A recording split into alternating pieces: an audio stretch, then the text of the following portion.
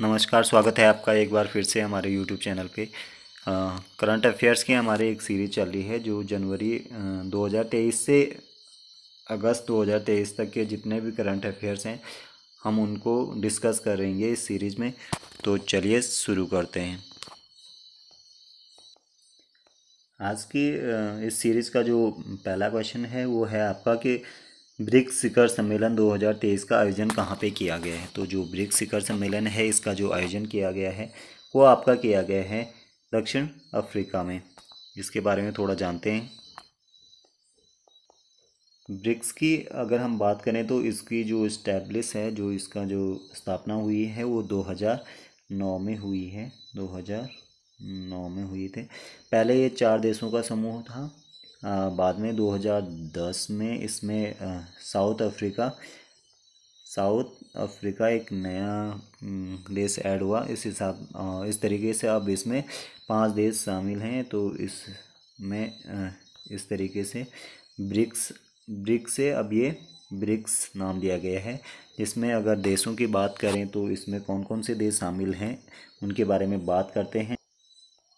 BRICS में शामिल हैं आपके ब्राज़ील, रूस, भारत, चीन और 2010 में आपका साउथ अफ्रीका भी इसमें ऐड हो गया था। तो इस तरीके से इसका नाम जो है ब्रिक्स से ब्रिक्स हो गया। इसके अलावा अगर इस बार की थीम की हम बात करते हैं तो इसका जो विषय था इस बार का तो वो था ब्रिक्स और साउथ अफ्रीका। पारस्परिक तेज विकास, सतत विकास और समावेशी बहुपक्षवाद के लिए साझेदारी। ये इसका, इस बार का विषय था।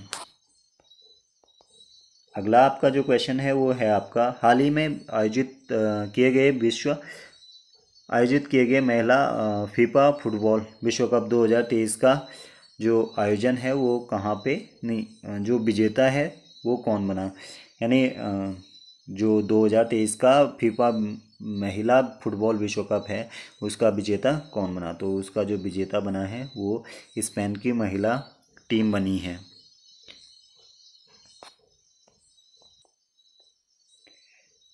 स्पेन ने महिला फीफा विश्व कप 2023 का खिताब जीता है और ऑस्ट्रेलिया के सिडनी स्टेडियम में खेले गए फाइनल मैच में स्पेन ने इंग्लैंड को एक शून्य से हराया स्पेन की टीम पहली बार महिला फीफा विश्व कप चैंपियन बनी है और अगर 2022 में मेंस वर्ल्ड कप की अगर हम बात करें तो वो अर्जेंटीना ने जीता है। इसके बाद आपका अगला क्वेश्चन है, आपका हाल ही में किस राज्य ने इंदिरा गांधी मुफ़्त स्मार्टफ़ोन योजना लॉन्च की है? तो ये आपकी योजना जो लॉन्च की है, वो की है राजस्थान राज्य ने। राजस्थान के मुख्यमंत्री जो हैं, वो हैं अशोक गहलोत और इन्होंने इंदिरा गांधी मुफ़्त स्मार्टफ़ोन योजना 2023 शुरू की है। यह कार्यक्रम राज्य में महिलाओं को मुफ़्त मोबाइल फ़ोन इंटरनेट और वॉइस कॉल सेवाएँ प्रदान करेगा। स्मार्टफ़ोन का वितरण 10 अगस्त से 30 अगस्त 2023 तक आ, किया गया जिसमें विधवाओं और तलाकशुदा महिलाओं को प्राथमिकता दी गई है। अगला आपका क्वेश्चन है कि हाल ही में पाँच अगस्त को जम्मू कश्मीर से धारा तीन सौ सत्तर हटाने के कितने वर्ष पूरे हो गए हैं? तो ये आपके चार वर्ष आपके पूरे हो गए हैं इसमें। जम्मू कश्मीर से धारा तीन सौ सत्तर हटे हुए, यानी चार वर्ष पूरे हो गए हैं। केंद्र सरकार ने चार साल पहले, पाँच अगस्त 2019 को जम्मू कश्मीर को खास दर्जा देने वाले आर्टिकल अनुच्छेद तीन सौ सत्तर को क्या कर दिया था? निरस्त कर दिया था। केंद्र सरकार के इस ऐतिहासिक फैसले को बीते चार सालों में जम्मू कश्मीर में काफ़ी बदलाव आए हैं। अगला आपका क्वेश्चन है कि हाल ही में भारत ने तीसरा जैवलिन थ्रो दिवस कब मनाया है? तो जो जैवलिन थ्रो डे है, वो आपका कब मनाया गया है? ये मनाया गया आपका सात अगस्त को। इसके बारे में डिटेल से जानते हैं। सात अगस्त को क्या हुआ था कि भारतीय एथलेटिक्स ने भारतीय एथलेटिक्स नीरज चोपड़ा ने सात अगस्त को आ, जो टोक्यो में 2021 में ओलंपिक हुए थे उसमें उन्होंने गोल्ड मेडल जीता था और इसमें उन्होंने सत्तासी दशमलव पाँच आठ मीटर आ, क्या किया था? बाला फेंका था। तो इसी उपलक्ष्य में भारतीय एथलेट, एथलेटिक्स फेडरेशन ने क्या करा? राष्ट्रीय जेवलिन दिवस मनाने के रूप में इसको फैसला लिया है। इसके बाद आपका अगला क्वेश्चन है। हाल ही में विश्व स्वास्थ्य संगठन ने किस देश को रूबेला मुक्त घोषित किया है? तो ये रूबेला मुक्त आपका घोषित किया है। तिमोर, लेस्ते और भूटान देश को विश्व स्वास्थ्य संगठन ने क्या करा है? मुक्त रूबेला मुक्त घोषित किया है। अगर रूबेला की हम बात करें तो इसको अन्य नामों से जाना जाता है क्या? जर्मन, रोमांटिका रोमांटिका, जर्मन रोमांटिका या फिर क्या जानते हैं इसको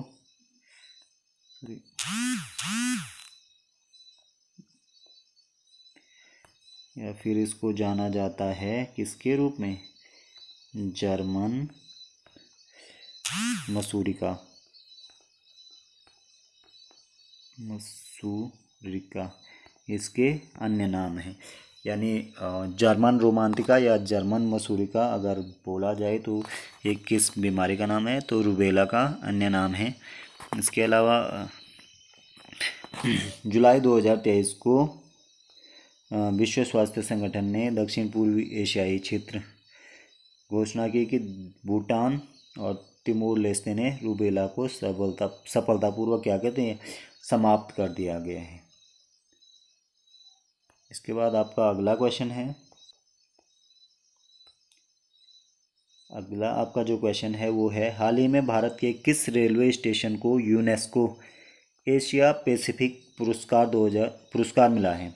तो वो ये मिला है भाई खला। और ये है आपका कहाँ पे? ये आपका पड़ता है महाराष्ट्र में, मुंबई, महाराष्ट्र में।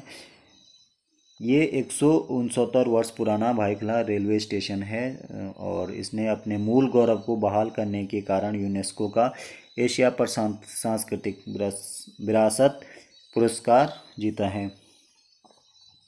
इसके बाद आपका अगला क्वेश्चन है।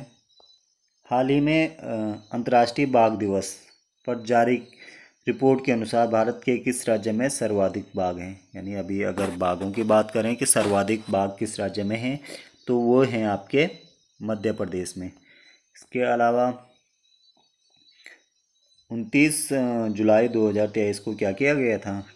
कॉर्बेट टाइगर रिज़र्व में मनाए गए वैश्विक बाघ दिवस के अवसर पर केंद्रीय राज्य मंत्री अश्विनी कुमार चौबे द्वारा एक विस्तृत रिपोर्ट जारी की गई।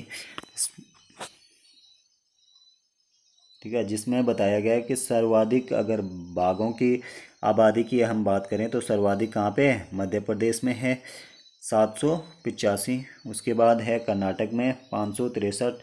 उत्तराखंड में है पाँच सौ साठ। अभी अगर बात करें उत्तराखंड में बाघों की संख्या कितनी है तो वो पाँच सौ साठ है और महाराष्ट्र में चार सौ चौवालीस है।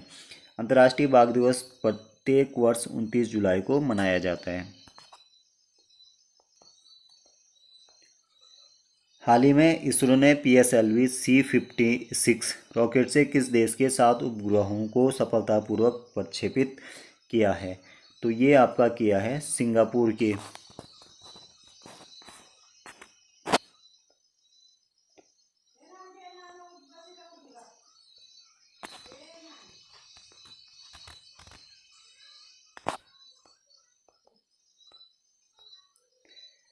तीस जुलाई 2030 को इसरो ने सिंगापुर के D S S R S A R उपग्रह सहित सात उपग्रहों को आंध्र प्रदेश में श्रीहरिकोटा से सफलतापूर्वक प्रक्षेपण किया है। ध्रुवी उपग्रह प्रक्षेपण यान P S L V C fifty six ने इस उपग्रहों को 535 किलोमीटर की गोलाकार कक्षा में स्थापित किया है। यानी अगर पी एस एल वी की हम बात करें तो इसका जो नाम है, ध्रुवी उपग्रह प्रक्षेपण यान। अगला आपका क्वेश्चन है कि हाल ही में doctor A P J Abdul Kalam memory memories never die नामक पुस्तक का विमोचन किसने किया है? तो ये किया है आपके अमित शाह ने। गृह मंत्री अमित शाह ने तमिलनाडु के रामनाथपुरम में पूर्व राष्ट्रपति doctor A P J Abdul Kalam की जीवनी और विरासत को श्रद्धांजलि स्वरूप doctor A P J Abdul Kalam memories never die नामक पुस्तक का क्या किया? विमोचन किया है। और इसके लेखक जो हैं वाई एस राजन और doctor A P J M Najima मरे कयान हैं। तो इसके जो लेखक हैं वो कौन है? वाई एस राजन और doctor A P J M Najima मरे कयान अगला आपका जो क्वेश्चन है वो है आपका उत्तर प्रदेश के किस ज़िले में राष्ट्रीय शहीद स्मारक और राष्ट्रीय रेलवे सुरक्षा संग्रहालय का उद्घाटन हुआ है? तो जो राष्ट्रीय शहीद स्मारक और राष्ट्रीय रेलवे सुरक्षा संग्रहालय का जो उद्घाटन हुआ है, वो आपका लखनऊ में हुआ है।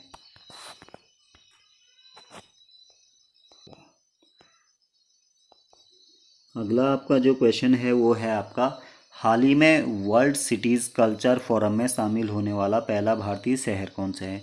तो वर्ल्ड सिटीज़ कल्चर फोरम में शामिल होने वाला पहला भारतीय शहर जो है, वो कौन सा है? वो है आपका बेंगलुरु।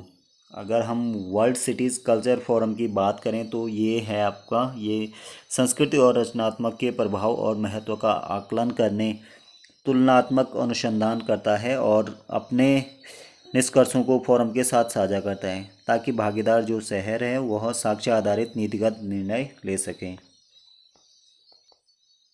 इसके बारे में और बात करें तो कर्नाटक की जो राजधानी बैंग है, बेंगलुरु वह वर्ल्ड सिटीज़ कल्चर फोरम का हिस्सा बनने वाला भारत का पहला शहर बना है। बेंगलुरु फोरम में शामिल होने वाला इकतालीसवां शहर बन गया है। इससे पहले छः महाद्वीपों के चालीस शहर इस फोरम में शामिल हैं। इसके बाद आपका अगला क्वेश्चन है। हाल ही में भारत के तिरासीवें शतरंज ग्रैंड मास्टर तिरासीवें जो शतरंज हुआ चैम्पियनशिप हुई है, उसके ग्रैंड मास्टर कौन बने हैं? तो वो आपके बने हैं आदित्य सामंत, और ये अभी केवल सत्रह साल के हैं। अगला क्वेश्चन आपका है कि हाल ही में राजस्थान के किस ज़िले में चंबल नदी के तट पर विश्व का पहला हेरिटेज रिवर फ्रंट बनाया गया है? तो ये आपका बनाया गया है कहाँ पे? कोटा में। विश्व का पहला हेरिटेज रिवर फ्रंट बनाया गया है। इसके बारे में बात करते हैं। कोटा, जो कि चंबल नदी के तट पे है, वहीं पे विश्व का पहला क्या बनाया गया है? हेरिटेज रिवर फ्रंट बनाया गया है। यह हेरिटेज रिवर फ्रंट 1200 एकड़ की लागत में बनाया गया है।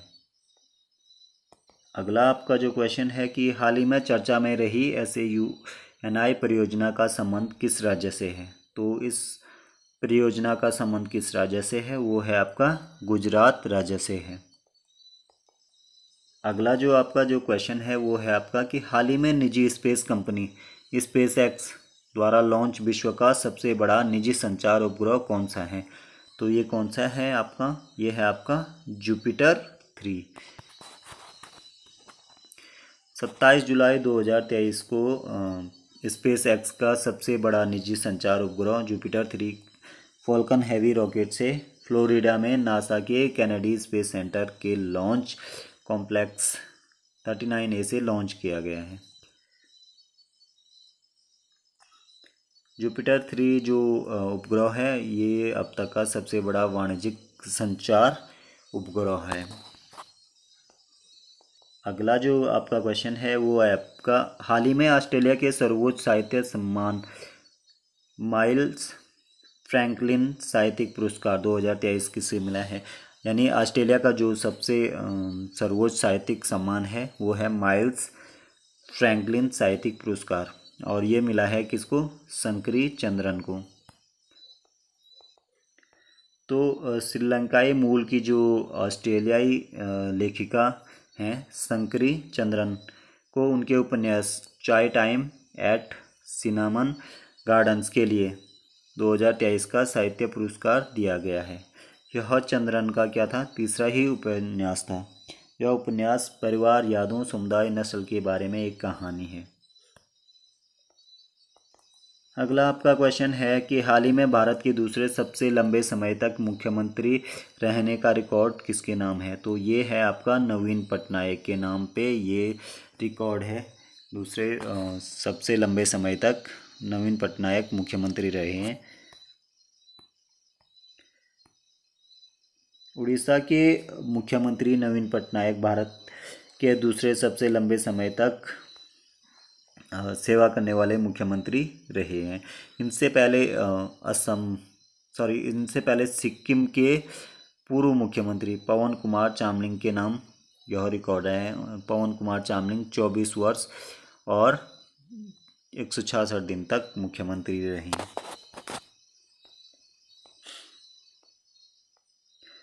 हाल ही में सीआईएसएफ की तर्ज पर औद्योगिक सुरक्षा बल किस राज्य में गठित किया गया है? तो सीआईएफ की तर्ज पर औद्योगिक सुरक्षा बल किस राज्य में गठित हुआ है? वो हुआ है राजस्थान राज्य में। राजस्थान की औद्योगिक इकाइयों को सुरक्षा देने के लिए केंद्रीय औद्योगिक सुरक्षा बल की तर्ज पर राजस्थान औद्योगिक सुरक्षा बल का गठन किया गया है। इस बल में तीन बटालियन होंगी, जिनका मुख्यालय कहाँ पे होगा? का होगा भिवाड़ी में, चित्तौड़गढ़ में और बालोतरा में इनका मुख्यालय होगा। आज की वीडियो का ये लास्ट क्वेश्चन है कि हाल ही में चौबीसवां कारगिल विजय दिवस कब मनाया गया है? तो ये जो चौबीसवां कारगिल विजय दिवस मनाया गया है, वो मनाया गया आपका छब्बीस जुलाई दो, छब्बीस जुलाई को। छब्बीस जुलाई दो हज़ार तेईस को चौबीसवां कारगिल विजय दिवस मनाया है। छब्बीस जुलाई उन्नीस सौ निन्यानवे को साठ दिन के संघर्ष के बाद क्या हुआ था? विजय हासिल हुई थी। तो इसके संबंध में जो कार्यक्रम किया गया था तो ये कहाँ पे किया गया था? कारगिल युद्ध स्मारक, जो द्रास, लद्दाख में स्थित है, वहाँ पे भारतीय सेना द्वारा 25 व 26 जुलाई को दो दिवसीय उत्सव का आयोजन किया गया था। आज के वीडियो में इतना ही। आई होप कि आपको वीडियो पसंद आया होगा। तो बने रहिए चैनल के साथ। तब तक के लिए धन्यवाद।